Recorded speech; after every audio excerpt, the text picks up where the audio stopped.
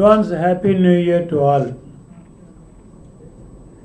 इनकी இந்த press meet வைக்கிறதுக்கு காரணமே நம்ம சவுத் இண்டியன் ஃபிலிம் சேம்பரில் ஒரு இம்பார்ட்டண்ட் ஒரு legend producer Kalaipuli S Thanu சாருக்கு FFI president Film Federation of India, which is an all India body he has been nominated, uh, elected, uh, unopposed, uh, elected president of Film Federation of India. அதுக்கு முன்னாலே government of India Thanu sir services இண்டஸ்ட்ரியில் அவர் எங்கள் image எல்லாம் பார்த்துட்டு Indian பனோரமாக்கு சேர்மனாக nominate பண்ணார் அது எல்லாருக்கும் தெரிஞ்ச மேட்ரு అన్నా కూడా first recognition by government of India then Indian film industry film federation of India అన్న సౌత్ ఇండియాకి south Indian film chamber of commerce ఎప్పుడు ఎఫెక్ట్స్ బాడీయో ఆల్ ఇండియాకి even south Indian film chamber of commerce కూడా film federation of ఇండియాలో affiliate film federation of India president అన్న పెరి పెరిగి జాంబోవాన్ ఎలా அந்த ஆர்கனைசேஷனுக்கு பிரசிடெண்ட்டாக வேலை பண்ணார் இதுக்கு முன்னாடி ச தானு சாருக்கு முன்னாடி ఫిర్దోసుల్ Hasan సొల్టి West Bengal producer distributor exhibitor hour president அவர் నుంచి ముందనాళ్ళు எலெக்ஷன்ஸ் கண்டக்ட் பண்ணிட்டு பண்ணால் தானு சார் அன்அப்போஸ்ட் யுனானிமஸ் பிரசிடெண்ட் அதுக்கப்புறம் Ravi கொட்டார்கராவ் is honourable general secretary and vice presidents అన్న நம்ம సౌత్ ఇండియా నుంచి సి కళ్యాణ్ శ్రీ ఎల్ సురేష్ మలయాళం నుంచి ஜிபி விஜயகுமார் கன்னடா నుంచి ఎన్ఎం సురేష్ அந்த மாதிரி out of nine vice presidents five vice presidents belongs to South India south India నుంచి ಅವಳ ಸರ್ವೀಸು ಎಲ್ಲ ಪಾತ್ರಿ ಇಂಪ್ರೆಸ್ ಆಗಿ ಆಲ್ ಇಂಡಿಯಾ ಬಾಡಿಲೋ టోటల్ ఇంక్లూడింగ్ దాను సార్ ఆరు పేరు office bearers out of twelve fifty percent నంబర్దే ఇక దాను సార్ பற்றி சொல்லணும்னா ஒரு புக்கே ஒரு ஒன் ஹவர் சொல்லலாம் அவர் இந்த சுச்சுவேஷனில் கூட ஃபிலிம் இண்டஸ்ட்ரி ரொம்ப கஷ்டத்தில் இருக்கு சொல்லி எல்லாரும் சொல்கிறாரு இந்த సీజన్లో இந்த పాండమిక్ సీజన్లో కూడా four pictures under production four small pictures కూడా இல்லை இங்கே தனுஷ் சார் வச்சு ஒரு படம் சூர்யா சார் வெற்றிமாறன் காம்பினேஷனில் ஒரு படம் తెలుగులో Asuran remake with Venkatesh super star Venkatesh Naarappa సొలిటి తెలుగులో అది already finish almost all finish இங்கே தனுஷ் சார் படம் ஃபினிஷ் அந்த மாதிரி எப்போ பார்த்தா கூட on floors three four films இருக்கு ஒரே ஒரு ப்ரொடியூசர் சவுத் இந்தியாவில் தானு சார் தான் எல்லோரும் ஒரு பிக்சர் எடுக்கிறோம்னா பயப்படுற சீசனில் அவர் கண்டினியூஸாக three two four pictures on floors ఎడుక్கிறாருன்னா அவர் கான்சன்ட்ரேஷனும் அவர் டெடிக்கேஷனும் அவர் பேஷனும் இதுக்கு மேலே அவர் சப்ஜெக்டு செலக்ட் பண்ணுற சிஸ்டம் இது எபோவ் ஆல் அவர் per day twenty hours work பண்ணுவார் நைட் எப்போ பார்த்தா twelve thirty one o'clock திருப்பி மார்னிங் ஃபோர் தேர்ட்டி ஃபைவ் నుంచి ஃபோன் அட்டென்ட் பண்ணுவார் அந்த மாதிரி ப்ரொடியூசர்ஸ் இந்த காலத்தில் இருந்தால் இன்வால்வ் ஆகி ப்ரொடக்ஷன் டேக் கேர் பண்ணால் ப்ரொடியூசருக்கு நல்ல டைம் தான் இது பட் கான்சன்ட்ரேஷன் இல்லை யாரோ ஒரு மேனேஜர் வச்சோ யாரோ ஒரு ப்ரொடக்ஷன் எக்ஸிக்யூட்டிவ் வச்சோ இல்லை ஒரு எக்ஸிக்யூட்டிவ் ப்ரொடியூசர் வச்சோ காசு நம்ம காசு அவர் கையில் கொடுத்துட்டு அவர் செலவு பண்ணால் அவருக்கு என்ன எவ்வளோ இன்ட்ரெஸ்ட் இருக்கும் everything Thanu sir personal கேர்னா அதுக்காக இவ்வளோ சக்ஸஸ்ஃபுல் ப்ரொடியூசர் ஆகி film federation of India president மாதிரி ప్రమోట్ అయి இப்போ ఆల్ ఇండియాలో ಇಲ್ಲ వరల్డ్లో ಅವರು ஹீரோஸ்க்கு டேட்ஸ் கேட்டால் சில ஹீரோஸ் சொல்கிறேன் சொல்கிறேன் சொல்லுவார் பட் ஹீரோஸே தானு சாருக்கு ஃபோன் பண்ணி இந்த படம் நம்ம பண்ணலாம் இதை பண்ணலாம் இது பண்ணலாம் சொல்லி ப்ரொடியூசர் செலக்ட் பண்ணுறது heroes first producer Thanu sir தான். அது எந்த லாங்குவேஜ் ஆனால் சரி. இப்போது அவருக்கு டேட்ஸ் காலி இல்லை. ஹீரோஸ் என்ன காலி இருக்கா இல்லை இல்லையோ தெரியாது. பட் அவரும் 2021 2021 is fully occupied. In between is our பெரிய responsibility film film federation of India president அண்ணா பாம்பே போனோம் டெல்லி போனோம் டெல்லியில் மினிஸ்டர்ஸ் கிட்ட சென்ட்ரல் மினிஸ்டர்ஸ் கிட்ட மீட்டிங் அட்டென்ட் பண்ணோம் இண்டஸ்ட்ரி ப்ராப்ளம்ஸ் ரிப்ரசென்ட் பண்ணோம் apex body of India film federation of இந்தியான்னா பிரசிடெண்ட்டுக்கு அவ்வளோ ரெஸ்பான்சிபிலிட்டிஸ் இருக்கு அவ்வளோ ரெஸ்பான்சிபிலிட்டிஸ் ஒரு சைடு வச்சு ஒரு சைடு ப்ரொடக்ஷன் வச்சு அவர் டெடிகேஷன் அண்ட் பேஷன் அதுதான் சக்ஸஸ் அது யாருமே மறக்க முடியாது. இந்த மாதிரி ப்ரொடியூசர்ஸ் வந்தால் இண்டஸ்ட்ரி சூப்பராக இருக்கும் நல்லா இருக்கும். கரோனா முடிஞ்சு போச்சு. எல்லா செகண்ட் வேவ் சொன்னார் அது கூட பெரிய எஃபெக்ட் இல்லை சொல்கிறாரு பொங்கலுக்கு தியேட்டர்ஸ் ஓப்பன் பண்ணுறோம் இப்போ தானு தானு சார் தலைமையில் ஃபிலிம் ஃபெடரேஷன் ஆஃப் இந்தியா నుంచి hundred percent theatres opening plan பண்ணுறோம் பொங்கலுக்கு இங்கே மாஸ்டர் தெலுங்குல நாலு பெரிய படங்கள் வருது எல்லாமே big starrer films highly expected films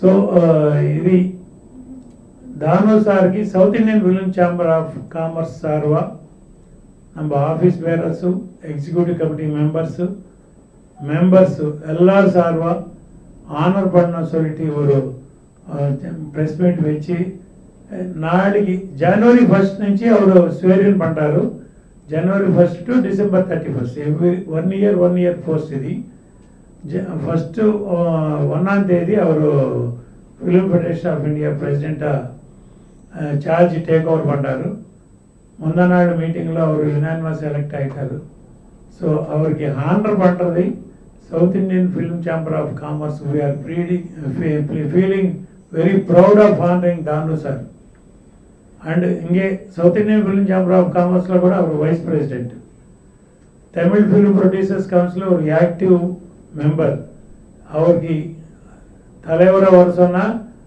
எனக்கு டைம் இல்லை சொல்லிட்டு அஹ், சொன்னார் அந்த மாதிரி பிஸி பர்சனும் இன்னைக்கு கொஞ்சம் டைம் எடுத்துட்டு சார் கொஞ்சம் South Indian film chamber of commerce నుంచి உங்களை ஆனர் பண்ணோம் ஒரு responsible post all India post அது வேர்ல்டு வைட் ரெக்கக்னைஸ்டு போஸ்ட் நீங்கள் எப்படி கபாலி படத்துக்கு ரஜினி சாருக்கு ஏர்கிராஃப்ட் மேலே பப்ளிசிட்டி பண்ணிட்டு உலகம் எல்லாம் சுற்றியாச்சோ அதே மாதிரி film federation of India president அண்ணா உலகம் எல்லாம் தெரியும் சார் இது கொஞ்சம் ரெஸ்பான்சிபிள் போஸ்ட்டு உங்கள் மாதிரி பர்சனாலிட்டி போய் பார்த்தா சென்ட்ரல் மினிஸ்டர்ஸ் ஆனால் சரி யாரானா சரி நம்ம இன்ஃபர்மேஷன் மினிஸ்டரோ ஹோம் மினிஸ்டரோ ஹெல்த் மினிஸ்டரோ எந்த மாதிரி பர்மிஷன்ஸ் வேணும்னா வாங்கிறதுக்கு உங்கள் மாதிரி ஒரு லீஜெண்ட் அண்ட் ஒரு பிக் பர்சனாலிட்டி அங்கே முன்னாடி இருக்குன்னு சொல்லிட்டு நம்ம எல்லாம் ஃபோர்ஸ் பண்ணிட்டு அவருக்கு இந்த போஸ்ட்டு அவர் தலைமையில் வச்சாச்சு அவர் டெஃபினட்டாக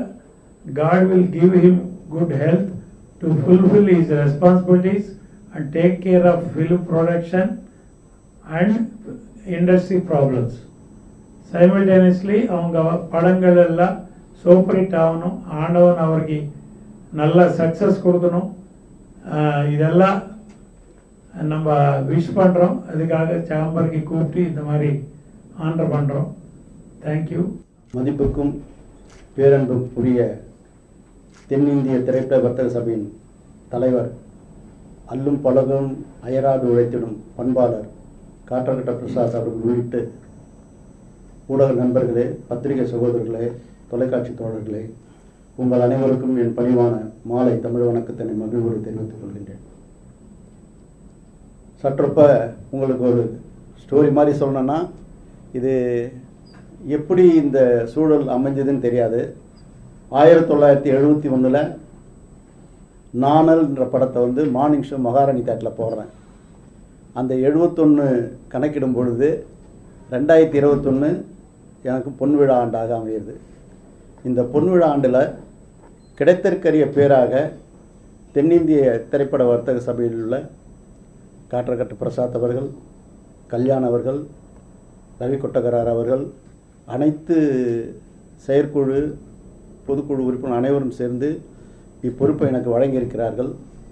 மிகப்பெரிய உயரிய பொறுப்பு நான் வரும்பொழுதே சிலையாக அமர்ந்திருக்கும் தெய்வங்கள் டிஏ ராமானுஜம் சார் அவர்களையும் டிஎஸ் ராஜ் அவர்களையும் சிறப்புமிகு இந்த திரையுலகை கட்டி ஆண்ட எஸ் எஸ் வாசன் சார் அவர்கள் இப்படி பன்னரும் தலைவர்களை வணங்கிவிட்டு தான் நான் இந்த அவைக்கு வந்திருக்கிறேன். இந்த பதவி ஜெமினி எஸ் எஸ் வாசன் அவர்கள் அலங்கரித்த பதவி ஏஎல் சீனிவாசன் சார் அவர்கள் அலங்கரித்த பதவி டி ராமானுஜம் அவர்களும் டிவிஎஸ் ராஜு அவர்களும் நாகிரெட்டி அவர்களும் இன்னும் பன்னரும் சிறப்புமிக்க வெல் லெஜண்ட்ஸ் அவர்களெல்லாம் வகித்த பதவி எனக்கு இந்த பதவி கொடுத்திருக்கிறார்கள். அந்த பதவிக்கு பெருமை சேர்க்கும் வண்ணம் நாளொரு மேனியும் பொழுது வண்ணம் கண்டிப்பாக உழைத்து இந்த திரையுலகில் இப்படி இப்பொழுது இருக்கக்கூடிய இக்கட்டான சூழ்நிலைக்கு என்னென்ன வியூகங்கள் வகுத்து இதை ஒரு படி மேலே ஒ- ஒரு படி அல்ல பத்து படி மேலே உயர்த்தக்கூடியான போராட்ட களத்திலே நாங்கள் நின்று அதை சாதித்து வெற்றி பெறுவோம். முக்கியமாக சொல்லப்போனால் ஒரு பக்கம் இன்டர்நெட் ப்ராப்ளம் டிஜிட்டல் ப்ராப்ளம் இப்படி இருக்கக்கூடிய சூழ்நிலையில் ஸ்டோரி ரைட்ஸ் என்பது இன்றைக்கி கதைவசன கர்த்தாக்கும்.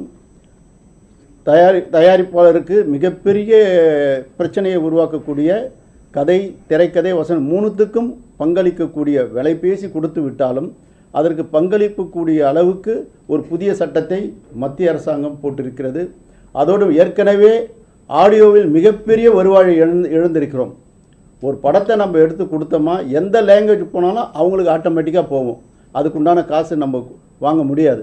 இப்படிப்பட்ட ஒரு இன்னலான ஒரு சூழ்நிலையில் இந்த பொறுப்பில் இருந்து அதையெல்லாம் எப்படி வெற்றி கண்டு வாகை சூடி வள வேண்டும் என்ற வியூகங்களை வகுப்பதற்கு எனக்கு இவர்கள் கட்டகட்ட பிரசாதர்களும் கல்யாணவர்களும் ரவிக்கொட்டார்களும் இன்னும் பொண்ணும் அரும்பெரும் சிறப்பானவர்கள் எல்லாம் என்னோடு இருந்து எனக்கு ஒத்துழைப்பு நல்குவார்கள். நிச்சயமாக எடுத்த காரியத்தை நிச்சயமாக முடிக்கக்கூடிய திறன் எங்களுக்கெல்லாம் அனைவருக்கும் இருக்கிறது. ஒற்றுமையுடன் செயல்படுவோம். தமிழ் திரைப்பட தயாரிப்பு சங்கத்தின் துணை கொண்டு தென்னிந்திய திரைப்பட வர்த்தக சபை துணை கொண்டு இந்த திரையுலகை அகில உலகமும் உண்ணா அண்ணாந்து பார்க்கக்கூடிய அளவுக்கு மிக சிறப்பான அய- அரிய பெரிய செயல்களை செயல்படுத்துவேன் என்று உறுதி கூறுகிறேன். நன்றி வணக்கம். அதாவது என்னென்னா சேம்பரில் ஒவ்வொருத்தரும் அதாவது இன்றைக்கி இண்டஸ்ட்ரி வந்து திரையரங்குகள் வந்து கிட்டத்தட்ட ஒரு வருடமாக பத்து மாதங்களாக மூடி இருக்கிறதுடைய சொல்லோனா துயர் திரையரங்கத்தை மற்றும் விநியோகஸ்தர்களுக்கும் தயாரிப்பாளர்களுக்கும் ஒட்டுமொத்த திரையுலகமே வந்து இன்றைக்கு வந்து ஒரு முக்கியமான ஒரு அதிர்ச்சியில் இருக்கக்கூடிய சூழ்நிலையில் ஐம்பது பர்சன்ட் என்பது வந்து நிச்சயமாக நம்மளால் எடுத்து செல்லவே முடியாது. அப்படிப்பட்ட சூழ்நிலை பல கோடி இன்றைக்கெல்லாம் வந்து சாதாரண படமே அஞ்சு கோடியிலேருந்து நூறு கோடி நூற்றம்பது கோடி விரலும் போகக்கூடிய அளவுக்கு இன்றைக்கி சினிமா இண்டஸ்ட்ரியில் ஐம்பது பர்சன்ட் இருபத்தஞ்சி பர்சன்ட் தேட்டருக்கு போய் இருபத்தஞ்சி அதுவும் மூணு நாள் நாலு நாள் அஞ்சு நாள் ஒரு வார கலெக்ஷன் தான் நம்ம எதிர்பார்க்குறோம். அதில் இந்த மொட் ஒட்டுமொத்த பணத்தை எடுக்கணுன்றது கேள்விக்குறியான சூழ்நிலையில் நானும் எனக்கு தெரிஞ்சு ஒரு பத்து தினங்களுக்கு முன் மு முக்கியமான ஒரு ஃபைனான்சியர் கூட்டு போய் ஒரு ஒரு முத முதலமைச்சருக்கு எடுத்தும் போகக்கூடிய அளவுக்கு மந்திரியை பார்த்து நாங்கள் எங்களுடைய கோரிக்கையை வச்சுருக்கோம். அப்போ அவங்க வந்து கண்டிப்பாக உடனடியாக அதை வந்து நிவர்த்தி செய்யக்கூடிய அளவுக்கு இருக்கும். நீங்கள் ஒரு அஞ்சு பேர் வந்து பார்க்கணும்னு சொன்னாங்க. உடனே நான் வந்து அந்த தயாரிப்பாளர் லலித்துக்கு ஃபோன் பண்ணி இந்த மாதிரி சூழ்நிலை இருக்குது தம்பி நான் போய் பேசிட்டு வந்திருக்கிறேன். நீங்கள் ஒரு அஞ்சு பேர் வச்சு நீங்கள் போங்கன்னாங்க. அது அதுக்கு மேலான ஒரு சிறப்பு வந்து முக்கியமானவங்களாம் போய் பார்த்து செஞ்சுருக்காங்க. இன்றைக்கி காலையில் எனக்கு எனக்கு த தனிப்பட்ட முறையில் வந்த தொலைபேசியில் கூட முழுமையாக கன்சிடர் பண்ணி பண்ணக்கூடிய அளவுக்கு ஒரு செய்தி இருக்குது. அதுவும் அவங்க வாயால் வந்து சொல்லுவாங்க. திரும்பவும் மறுமலர்ச்சி அடையக்கூடிய அளவுக்கு புத்துணர்ச்சி பெறக்கூடிய அளவுக்கு திரளுக்கு மீண்டு வரும். அது சத்தியம். பொங்கல் வர இருக்குங்க தான் எப்பயுமே எல்லா வருஷமும் வந்து நிறைய படங்கள் ரிலீஸ் ஆகும். இந்த வருஷம் ஐம்பது சதவீதம் ஐம்பது சீட்டிங்கோட இருந்தால் வந்து மிக கஷ்டம். நேற்று கூட ப்ரெஸ் மீட் பண்ணியிருந்தார் பன்னீர்செல்வம் ரொம்ப வேதனைக்காக சொல்லிட்டு இருந்தாங்க. நீங்க இப்போ பதவிக்கும் வந்திருக்கீங்க. எங்களோட வாழ்த்துக்கள் எங்கள் மீடியா சார்பில். ஆனாலும் நீங்கள் போய் முதல்வரை சந்தித்து இது இதை கொடுக்கணும்னு ஏதாவது நான் சந்திக்கிறதுக்குள்ளே அந்த செய்தி வரன்றது உறுதியாக இருக்குது அப்படி இருந்தாலும் நீங்கள் சொல்கிற கருத்தை எடுத்து நாங்கள் உடனடியாக போய் பார்த்து பண்ணுறோம் டெஃபினட்டாக பண்ணுவோம். ஆனால் நீங்கள் சொல்கிற இந்த இண்டஸ்ட்ரிக்காக நீங்கள் சொல்கிறீங்க இந்த இண்டஸ்ட்ரிக்காக ஒரு நான் இந்த பதவிக்கு வரதுக்கு முன்னாடியே போய் அதை போய் பேசிட்டு வந்திருக்கிறேன். அதை சம்மந்தப்பட்டவங்ககிட்ட பேசும்போது கூட தான் சார் வந்து பேசிட்டு போனாருன்னு சொல்லியிருக்காங்க. அதனால் இண்டஸ்ட்ரி இன்றைக்கி இந்த அரசாங்கம் வந்து இண்டஸ்ட்ரிக்கு வந்து நன்மை செய்யக்கூடிய அளவுக்கு பல வழிவகைகளை செஞ்சுன்னு இருக்காங்க கண்டிப்பாக அதுக்குண்டான பலன் பயன் நமக்கு கிடைக்கும். அதை நாங்கள் இல்லை இல்லை. அது பைரசி என்பது வந்து மத்திய அரசாங்கத்திட்ட தான் இருக்குது நீங்கள் எத்தனை முறை கேட்டாலும் இங்கே இருக்கிற தம தமிழக அரசுகிட்டேயோ எங்களாலேயோ முடியும் மத்திய இன்ஃபர்மேஷன் டெக்னாலஜி மினிஸ்டர்கிட்ட மட்டும்தான் அவர் நினைச்சானா ஒரே நிமிஷத்தில் நிறுத்த முடியும். அதுக்குண்டான அதுக்குண்டான வேலைகளை செய்கிறோம் அது அது உறுதியாக நான் செய்வேன். அது அதுக்குண்டான அது அது சொல்ல வேண்டியதில்லை. அது எங்களுடைய வா அடிப்படை திட்டம். எப்படி வந்து ஆடியோக்கும் ஸ்டோரிக்கும் ஒரு பிரச்சனை உருவாகி தயாரிப்பில் பாதிப்பு இருக்குதோ அந்த மாதிரி நீங்கள் சொல்கிற அந்த இன்டர்நெட்டு பைரசியும் ஒழிக்கிறதுக்கு முயற்சி எடுத்து வெற்றி காண்போம். இந்த இல்லை அது வந்து அதை பொறுத்தவரையிலும் அது சம்மந்தமான மேட்ரு பேசி அது நெகோசியேஷன் போயின்னு இருக்குது. அதனால் நம்ம அதுக்குள்ளே போயிட்டு அந்த ஒரு சூழ்நிலை நல்லா ஸ்மூத்தாக போகிற நேரத்தில் நம்ம போய் எதுவும் சொல்லி அதுக்கு ஒரு சின்ன ஒரு ஊனமும் உள்ள உள்ளங்கமும் உண்டாக்க வேணான்றது உங்களுக்கு ஒரு நீண்ட நிறைய உறவு உண்டு. கபாலி வந்து இந்தியாவுடைய ஒரு இதுவரையும் பார்க்காத அளவுக்கு விளம்பரம் பண்ணியிருந்தீங்க. ஸோ அவரோட இந்த அறிவிப்பு எப்படி பாக்குறீங்க இன்னைக்கு ஒரு அறிவிப்பு வந்திருக்கு. உங்களுக்கு. அதாவது என்னை பொறுத்தவரையிலும் இந்த தமிழகம் வந்து ஒரு மிகப்பெரிய ஒரு சூழலை ஒரு சந்தோஷத்தை இழந்ததுன்னு சொல்லலாம். அதே நேரத்தில் அவருடைய ஹெல்த்தையும் நம்ம பார்க்கணும்.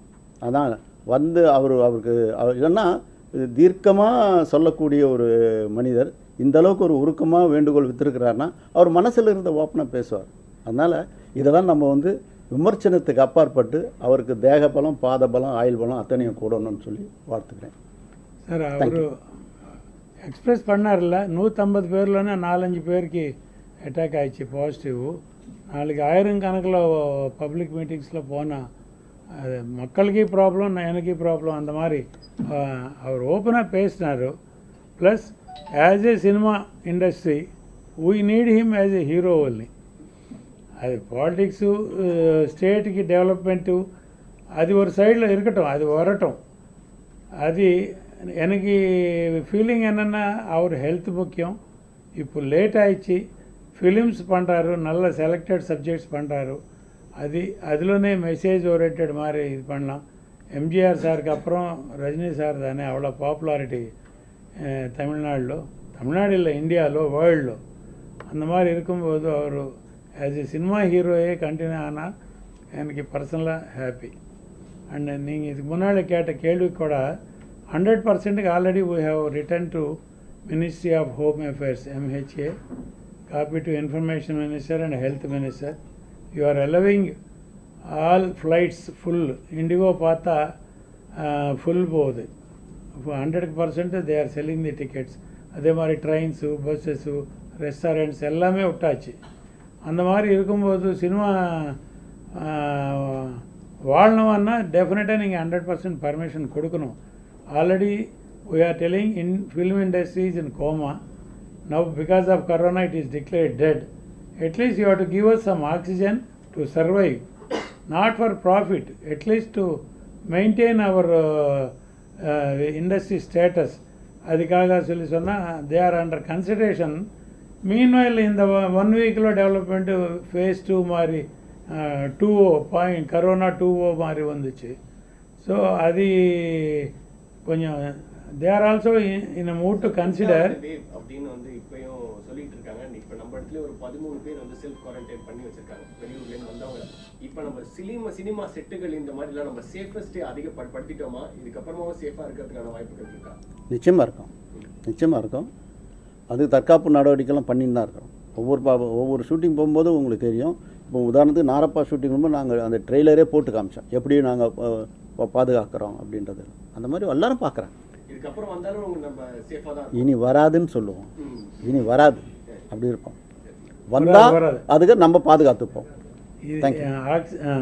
வேக்சின் வந்துச்சு இது மேலே ஒன்றும் ப்ராப்ளம் வராது maximum maybe another one or two months we will sit right no problem industry will come back in a normal position sir no problem but everybody has to cooperate e- with each other sir artists producers distributors exhibitors from studios எல்லாரும் first live and let live policy important அந்த மாதிரி இருந்தால் producer நல்லா இருந்ததா producer is the father of film industry producer நல்லா இருந்ததா distributor producer நல்லா இருந்ததா எக்ஸிபிட்டர் அதே மாதிரி artist technicians so producer survive ஆகிறதுக்கு தேவையான ஹெல்ப் எல்லாம் மற்ற அதர் கிராஃப்ட்ஸ் எல்லாம் கொடுக்கணும் அதுதான் நம்ம சேம்பர் சார்பாக ரிக்வெஸ்ட் பண்ணுறோம் எல்லாருக்கும் பண்ணுறாரு அதே மாதிரி கவர்மெண்ட்ஸ்க்கு தமிழ்நாடு கவர்மெண்ட் தானு சார் போய் பேசினா ஒத்துக்குவார். ஆந்திர அந்த மாதிரி சிரஞ்சீவி சார் நாகார்ஜுனா எல்லோரும் போய் சிஎம்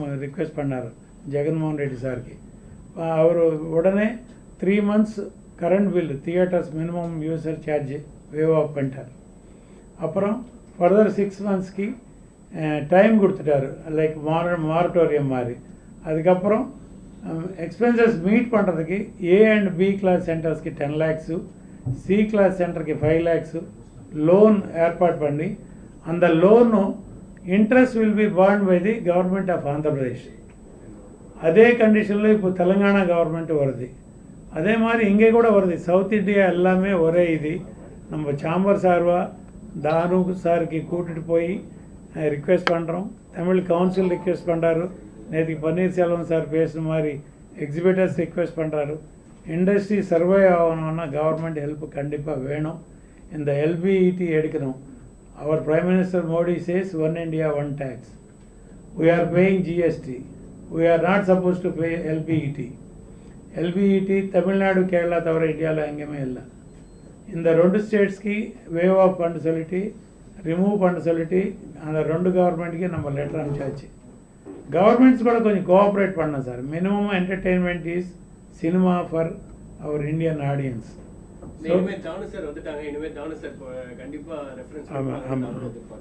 இல்லை இல்லை எல்லாமே அதாவது அணுகுமுறையில் எல்லாமே ஈஸியாக கிடைக்கும். ஆக யாரும் வந்து இந்த இண்டஸ்ட்ரிக்கு அகேன்ஸ்டாக இல்லை. அதனால் நம்ம அணுகுமுறை நிச்சயமாக நம்மளுக்கு பயனளிக்கும் பலன் நினைக்கும் ஆக உங்களுடைய எண்ணங்கள் பூர்த்தி ஆகும் நன்றி வணக்கம். தேங்க்யூ